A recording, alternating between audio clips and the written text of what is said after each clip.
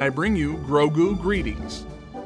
This one was a fun one to work on. I've worked on Grogu a few times now, but this is the first time I got to put him into a kind of a Christmas setting.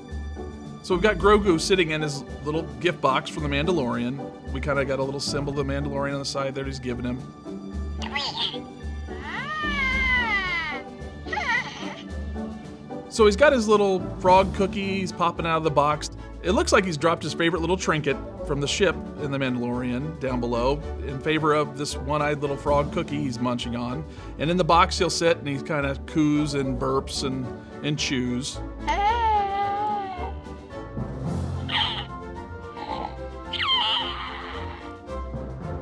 And one of the really cool things about this year's ornament too is that I really got to work with this new technology that's like an animatronic puppet, like what they would actually use in TV and film.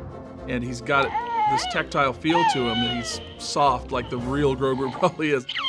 He turns his head, he blinks his eyes, he moves his mouth. Uh, It all really works to bring it to life. It's an animated ornament.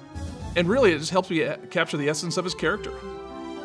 If you're looking for the perfect gift for the Star Wars fan in your life, this is the way.